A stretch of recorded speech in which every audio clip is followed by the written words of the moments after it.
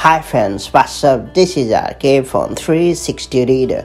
Right now I'm going to have to change call audio routing on iPhone. For those unfamiliar, call audio routing determines where audio will be heard during a phone call or FaceTime audio. You can automatically direct the audio of phone or FaceTime calls to the iPhone speaker, a Bluetooth headset or your hearing devices. iPhone can also automatically answer calls after a specific duration. That's all being said, let me show so you have to customize call audio routing on iPhone the quick way. Before getting started, make sure you have subscribed our YouTube channel and hit the bell icon so that you won't miss any update from 360 Reader. First and foremost, launch the Settings app on your iPhone. Then you have to scroll down to find Accessibility and then select it. Then you have to scroll down to the Physical and Motor section and then choose Touch. And after that, you have to scroll down to the bottom